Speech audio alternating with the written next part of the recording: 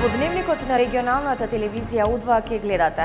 Република Македонија денес го одбележува големиот празник Илинден.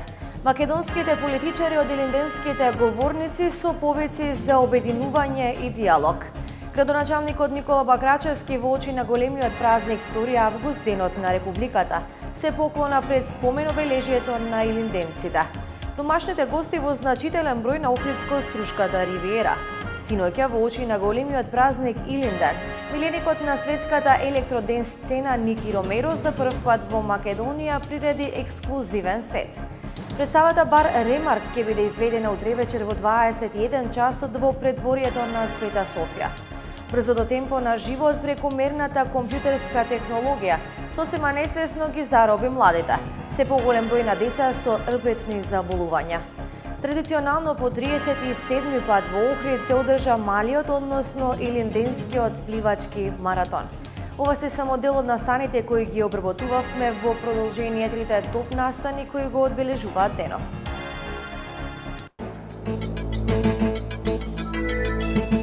Македонија слави. Илинден одбележан со повици за национално обединување. Домашните гости во значаен број на Охридско-Струшката ривиера. Традиционално во Охрид по 37 пат се пливаше Илинденскиот маратон.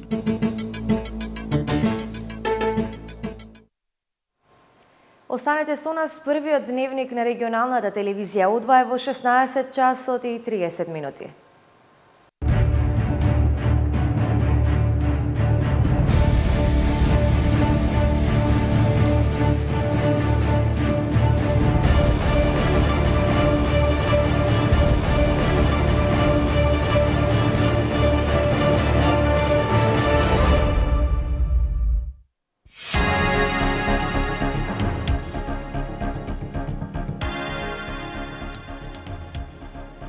Добар ден. Република Македонија денес го одбележува големиот празник Илинден. Пред 113 години околу 800 востаници ги дадоа животите за слободна Македонија, за Крушевската република која траала само 10 дена. Република Македонија денеска достојно ги одбележува двата историски Илиндена. 113 години од почетокот на Илинденското востание и 72 години од првото заседание на АСНОМ. Почетокот на Илинденското востание го објавиле камбаните во Крушево на полнак спроти Илинден 1903 година. Околу 800 востаници го ослободиле градот, а по два дена Никола Карев ја прогласил Крушевската република и станал неизим председател. Слободната република траела 10 дена, Република Македонија денеска ги одбележува двата историски Елиндена, 113 години од почетокот на Елинденското востание и 72 години од првото заседание на АСНОМ. Во Крушево за Илинден традиционално пристигна и конјаниците од Илинденскиот марш, а градот од вчера е домаки на научно-културните средби. 10 дена Крушевска република. Под команда на Бахтиер Паша, 18.000 османлиска војска тргнала во акција за враќање на власта во Крушево. На секторот Берино кај местноста Мечкинкамен, војводата Питу Гули со стотина востаници им давал отпор на 3000 војници. Борбата продолжила околу 2 часа. Му била дадена заповед за отстапување, но таа не била извршена. Борбата завршила со херојска смрт на војводата Питу Гули и неговите знаменосци Ѓорги Димев и Новес Мугрев, како и поголем дел од востаниците. Последните истрели на Мечкин Камен и загинувањето на војводата Питу Гули го значиле и крајот на Крушевската република. По напуштањето на градот од страна на востаниците, војската навлегла во градот и извршила страшна тиранија врз населението, колејки старци и деца и усмртувајки со садизам жени. Војската изгорела 200 куки и 200 дуќани и ограбила се што нашла. Со тоа бил ставен крај на најзначајната рожба на револуцијата – Крушевската република. 41 година по Илинденското востание, во манастирот Свети Прохор Пчински кај Куманово, 115 делегати го одржале првото заседание на АСНОМ, антифашистичкото собрание на Народното ослободување на Македонија. на кое е потврдена обштествено правната положба на Македонија како рамноправна федерална држава во рамките на ДФ Југославија. Заседанието го отворил Панко Брашнаров, најстариот делегат и сведок на двата Илиндена. Избран бил президиум насном под председателство на Методија Андонов Ченто. Заседанието усвоило неколку документи со државнотворно значење, меѓу кои решението за воведување на македонскиот јазик за службен јазик во македонската држава и декларацијата за основните права на човекот и граѓанинот на демократска Македонија. Македонските политичари со положување цвеќе на спомен одбележијата на двата големи историски настани го одбележаа денешниот важен историски ден за македонскиот народ. Сите заеднички повикаа на национално обединување. По двата значајни историски датуми, 113 години од Илиндинското востание и 72 години од првото заседание на АСНОМ, државни и други делегации денеска положија цвеќе на спомен од бележијата на овие два значајни настани во македонската историја. Председателот на Македонија Ѓорги Иванов се обрати од мемориалниот центар во Пелинце, истакнувајќи дека денеска, повеќе од кога и да е порано, потребен е процес на национално помирување во земјата. Слободата пред се треба да пребива во срцата на луѓето. И ниту еден закон, и ниту една институција или политика не може да ја одржи слободата на Македонија, ако таа слобода прво не пробива во срцата на македонските граѓани. И се додека слободата пребива во нас, ние ќе бидеме слободни граѓани во слободна држава. Но слободата не може да обстане без поредок. И тука не се мисли само на уставниот правниот поредок, туку на нешто многу подлабоко и посуштинско. Председателот на Собранието Трајко Велјановски положи цвеќе пред споменикот на основ во паркот Жена Борец во Скопје. Оттаму тој повика на единство и обединување, потенцирајќи дека за Македонија останува приоритет членството во НАТО и во Европската Унија. Имаме обврска да ги почитуваме и да ги обележуваме. Историјата внимателно како учителка на животот. Ке ги извади на површина заслугите и на други личности кои се вложиле и се вложуваат за Македонија. Пред загинатите и линденци се поклони и делегација на владата на Република Македонија предводена од премиерот Емил Димитриев. Во своето обраќање на Мечкин Камен, Димитриев повика на единство на сите расположливи капацитети во државата во процесите за развој и просперитет на татковината, велики дека таквиот пристап и искрена волја посебно е потребен во овие моменти кога државата подолг временски период е вовлечена во политичка криза. Волјата на народот е најсилна и секој политичар мора истата да ја почитува. Народот никогаш не греши и секогаш е во право. Негирањето на волјата на граѓаните, секој обид за сомнеш во одлуките на народот, во обид за прикривање на собствените слабости и порази, представува израз на непочитување на граѓаните и сериозен израз на недемократско однесување. По повод празникот, денеско од Трново своје обраќање имаш и лидерот на ВМРО ДПМН Никола Груевски победата, слободата, напредокот, развојот и успехот е нашата финална цел. До неа се доаѓа со почитување и исповедување на основните вредности, со стратегија и тактика, но и со оператива, и со многу труд и многу работа. Од Крушево пак честитка упати и председателот на Социјалдемократскиот сојуз Зоран Заев. И во минатото и денес постои, постоел и постои само еден идеал. Слободна Македонија, во која достоинствено ќе живеат сите неизини граѓани. Илинден е најсветлиот ден на македонците и сите граѓани на Македонија, кога се удрени темелите на самостојна, независна и демократска Македонија. Градоначалникот Никола Бакрачевски во очи на големиот празник 2 август, денот на Републиката, се поклона пред спомен обележието на илинденците. Бакрачевски истакна дека на 113 годишнината од првиот Илинден од 1903 и 72 годишнината од Аснон, Илинденската епопеја е се уште жива во Велгоште, а Велгоштани се најдобрите чувари на илинденските идеали за слободна и самостојна Македонија.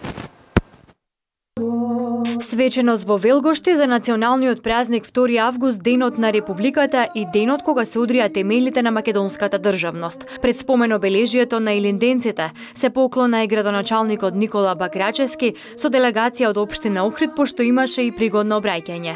Во предвечерието на најголемиот и најсветлиот македонски празник Илинден ме представува особена чест и пријатно задоволство да присуствувам во историското и слободарско Велгоште, местото каде што е формирана првата Средбата во Станичка чета над Моро во Охрид и Охридско, истакна Бакрачески. Еден од свидетелите на овој настан, војводата Андреј Христов ке рече Во цела Македонија и Одринско има веќе силна подготовка за слобода. За таа цел и тука, во нашава околија, се создава, драги јунаци, во вашето лице, првата Охридска чета. На повико за востание, преку 2000 охриѓани, меѓу кои 200 велгоштани, застанале под македонското црвено знаме, на кое пишувало смрт или слобода. Идеалите на славните илинденци од 1903 ќе ги остварат многу години подоцна другите генерации македонски јунаци, со победата во Втората светска војна, кога се удрени темелите на македонската држава.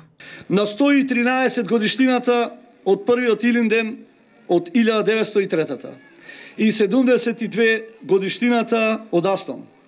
Илинденската епопеја и денес е жива во Велгошти, а вие, драги велгоштани, се најдобриот, се најдобрите чувари на илинденските идеали за слободна и независна Македонија.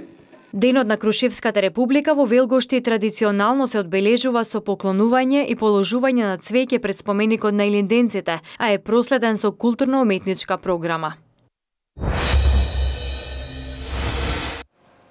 Домашните гости во значителен број на Охридско струшката ривера. Покрај од странските гости, хотелските капацитети се исполнуваат и од страна на домашните гости кои се во зголемен број оваа година. Крсте Блажевски од Асоциацијата на хотелери веле, Само со новитети и одлична услуга ќе се поттикне нивната бројка и тоа ќе придонесе и следната година да ги има во уште поголем број. Хотелските капацитети последниве десетина дена се максимално исполнети. Покрај странските гости на Охридско-Струшката ривиера и домашните туристи ги има во одлична бројка. Крсте Блажевски од Асоциацијата на хотелиери на Република Македонија вели дека домашните гости оваа година ги има во поголем број. Истите ги бараат веќе хотелските услуги. Ова е резултат како што вели Блажевски на создавањето на таа бегалска криза, која се одрази на хотелските услуги со намалување на бројот на ноќевања. Се дадува некои пакети, ако приметите по интернет, по фейсбуци има разно разни нели понуди и тоа позитивно допринесе да се зголеми бројот на ноќевањата на домашни гости. Тоа е позитивно исто, се надеваме дека истото ќе се пренесе за следната година, значи ние уште сега рачунаме на продажба на самите самите капацитети за следната година. Блажески се надева дека со зголемен број на новитети и капацитети во туристичката понуда ќе се привлечат и наредната година поголем број. Еден задоволен гостин носи 10 други, така да треба да се поработи на тоа да гостите кои доаѓаат да им се обезбедат соодветните услови и да се задоволуваат барањата за тоа што само на тој начин ќе се зголеми нивниот број. Нови капацитети хотелски доградби на нови на соби, да кажам, на постоечки објекти и така натаму, зголемување на бројот на хотелските капацитети. Тоа ќе допринесе до еден поголем број каде што ќе биде нели задоволена и домашната, а и странската клиентела. Бројот на странски гости од година во година се повеќе расте, но треба да се поттикнат и домашните туристи да бидат дел од туристичката понуда. Само со соодветни пакет аранжмани за сечи джеп, инвестиции во туризмот како и во патната инфраструктура, во голема мера ќе придонесат да се задоволат афинитетите на домашните и странските гости, да се зголеми нивниот број и со тоа ќе се подобри туристичкиот сектор. Општина Охрид досега има добиено 29 проекти кои се во вредност од 1 милион 91.500 евра, што представува една задоволителна бројка. Реконструкцијата на детската градинка Јасна Ристеска, поставувањето на подземните континери, реновирањето на училиштето Кочо Рацин во Долно Лакочери, се само дел од проектите кои во моментов се реализираат. Општина Охрид и Воиднина продолжува со ова темпо и ќе аплицира во сите фондови со цел да се подобрат економските услови во градот, а особено делот на туризмот. Во изминативе три години Обштина Охрид преку секторот за туризам и локален економски развој има аплицирано и добиено 29 проекти од кои најголемиот дел се реализирани, а останатите се во фаза на реализација. Гјоко Апостоло вели дека вкупната вредност на овие проекти кои што за овие три години биле подготвени, аплицирани и реализирани е 1 милион 91.500 евра, што представува и на задоволителна бројка како што изведбата на енергетски ефикасни објекти во а, односно реконструкција на детската градинка, тоа сте сведоци дека во моментот се имплементира, поставувањето на подземните контенери, реновирањето на училиштето Кочо Рацин во Долно Лакочере и уште неколку проекти кои што допарва, односно во летниот период треба да бидат имплементирани во Охрид. Апостолов додаде дека општина Охрид и Војнина продолжува да работи на овој дел. Моментално има аплицирано на вкупно 4 проекти чија вкупна вредност е 680.000 евра. Аплицирано е на новиот повик на ИПА програмата за прекогранична соработка помеѓу Македонија и Грција, овој пат за периодот 2014-2020 година. И тоа за проектот за меѓугранична соработка за интегрирани здравствени социјални услуги за стари лица и деца и нивна рана превенција како и на проектот Water Energy, во кој што е предвидено изградба на туристички парк во Охрид. Аплицирано е уште на два проекти кои што се во рамките на програмата Програма за транснационална соработка Интерек Балкан Медитеранијан 2014-2020 година. Првиот проект е Вија Игнација Крстопат, односно Прикторија, историска мрежа на златни спортски медали буџетот предвиден за општина Охрид изнесува 100.000 евра и вториот проект од оваа програма е интеррегионално управување со културното наследство електронски систем со вредност на грантот за општина Охрид 169.000 евра или вкупната вредност на овие четири проекти кои што се аплицирани изнесува 679.000 евра. Апостолов е оптимист и вели дека општина Охрид аплицира постојано во сите фондови, почнувајќи од европските фондови до фондовите на амбасадите во Република Македонија и министерствата во земјава и институции и бироа за развој, се со цел барем делумно да се подобри економијата во градот, а посебно во делот на туризмот. Синоќа во очи на големиот празник Илинден, миленикот на светската електроден сцена Ники Ромеро за прв пат во Македонија приреди ексклузивен сет. Настанот се одржа на спортско-рекреативниот центар Билјанини извори во Охрид. Настапот на Рики Ромеро и Lost Фреквенси се во склоп на фестивалот Охрид Колинг, а во организација на Авалон продукција. Незаборавен настап синоќа на спортско-рекреативниот центар Билјанин извори. Им приредија водечките светски диджеи Ники Ромеро и Lost Frequencies во рамките на првото издание на фестивалот Охрид Колинг. Миленикот на светската електроден сцена, омилениот диджеј на Tomorrowland и Ultra Music фестивалите ширум светот, Ники Ромеро за прв пат во Македонија приреди ексклузивен сет, и тоа на 1 август ноќта спроти големиот празник Илинден во окрет. Светските мегаденс хитови продуцирани од двата врвни диджеи, никој не ја оставија рамнодушна илјадната публика, која се забавуваше на хаос ритамот до раните утренски часови.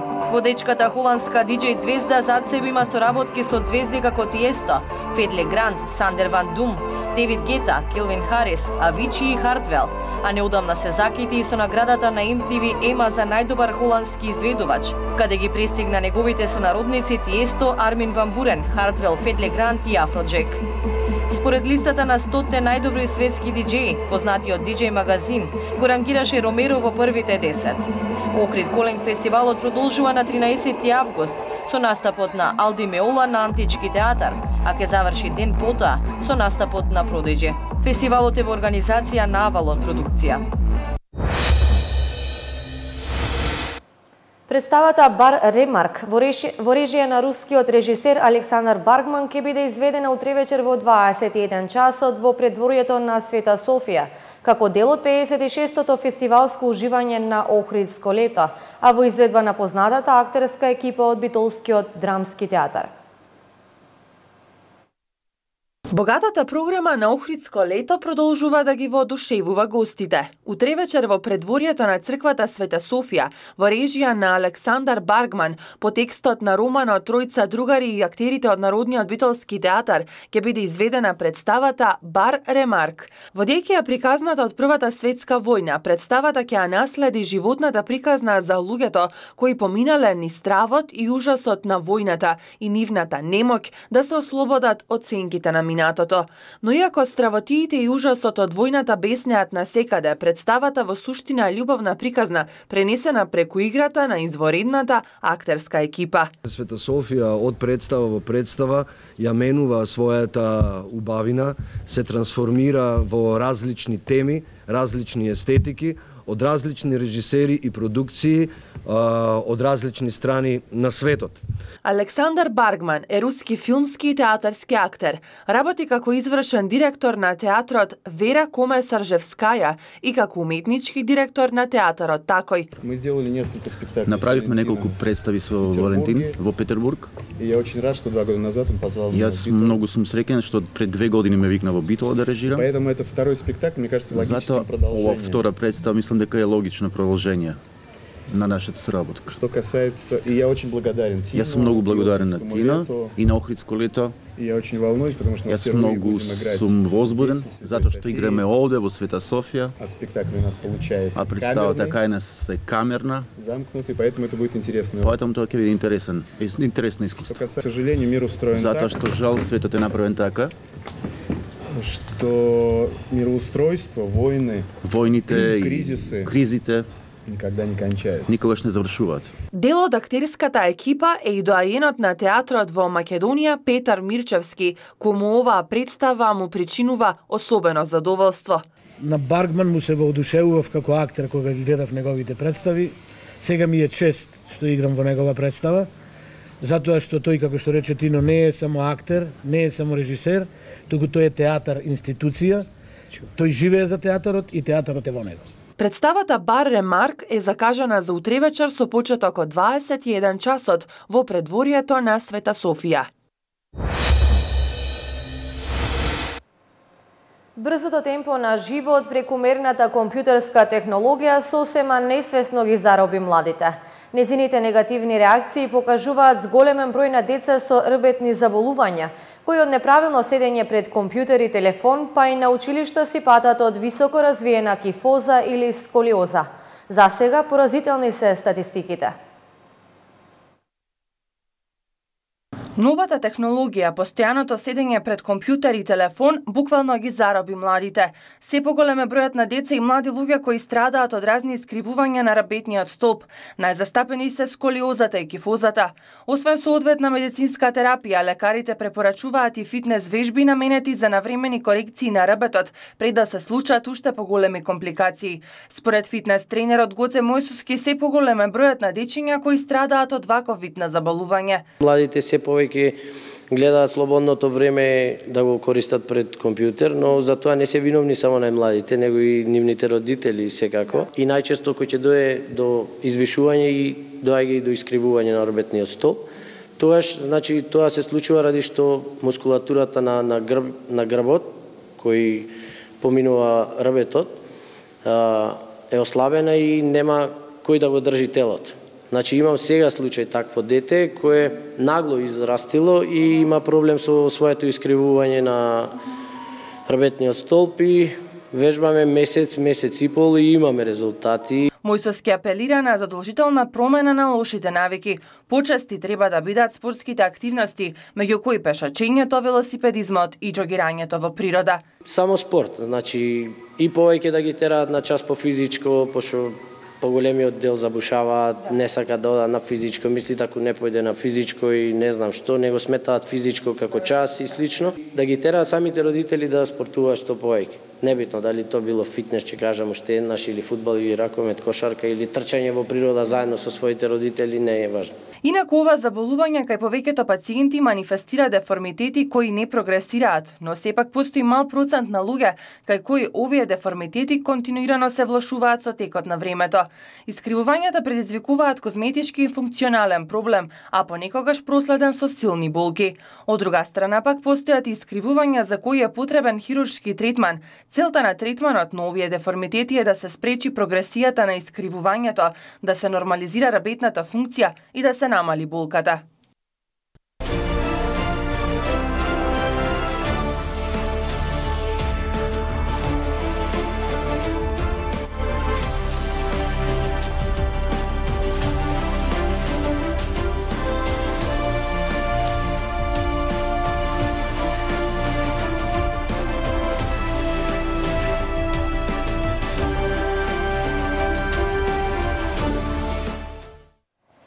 Пред по 37 пат се одржа малиот, односно Илинденскиот пливачки маратон, на кој година во учество зедоа 52 пливачи поделени во две старосни категории во машка и женска конкуренција. Оваа година малиот маратон беше во организација на пливачкиот клуб Охридски бранови 2008 од Охрид со поддршка на Обштина Охрид.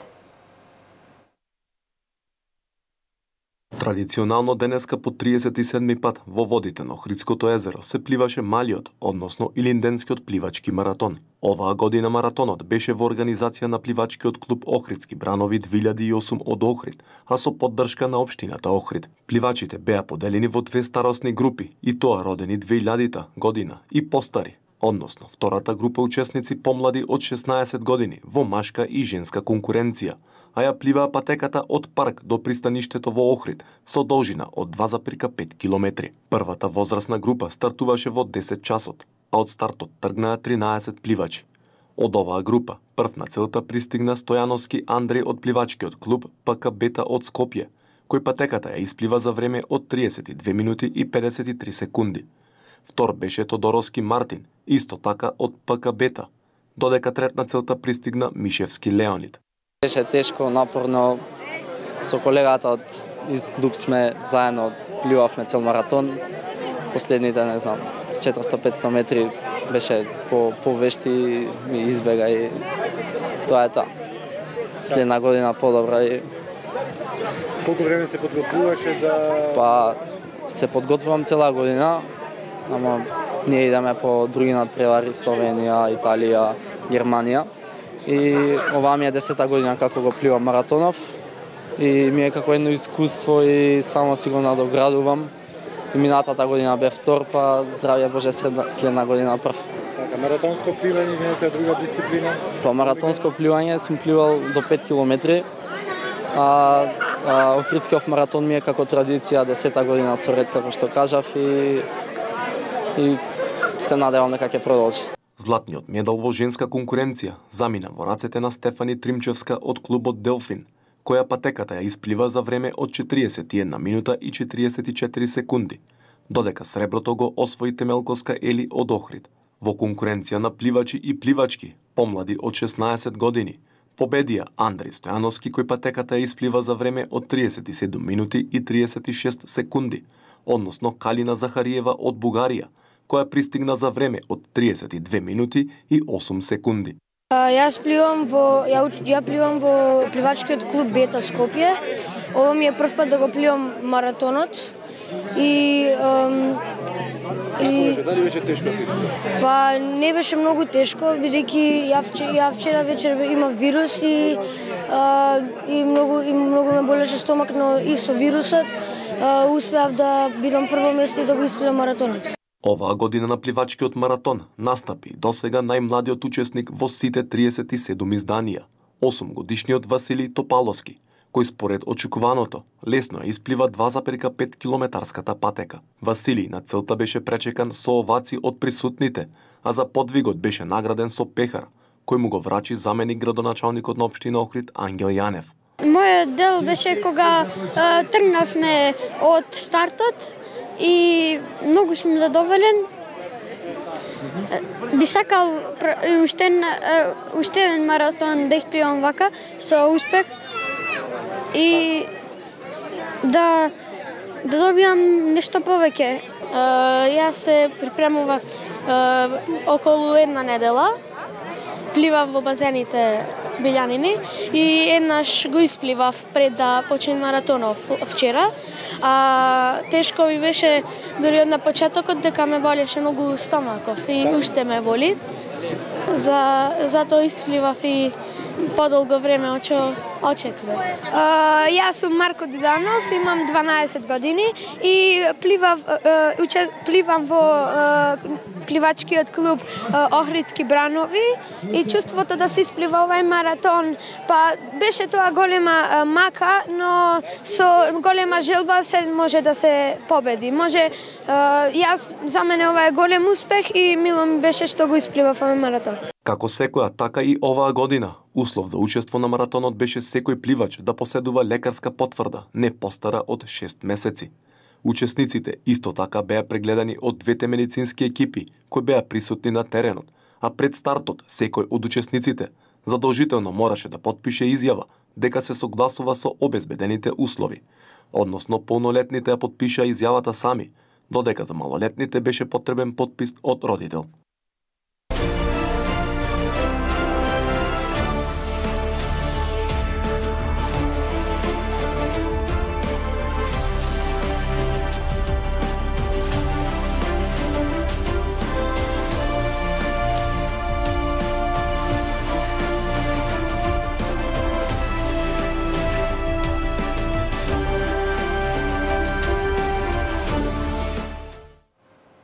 Времето во Македонија предпладне сончево со умерена облачност, а во пладневните и попладневните часови на повеќе места ќе биде нестабилно со пороен дошт, грмежи и засилен ветер.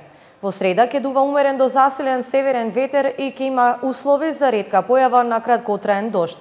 Потоа времето ќе биде стабилно и потопло. Во дневникот на регионалната телевизија Одва следува метеа.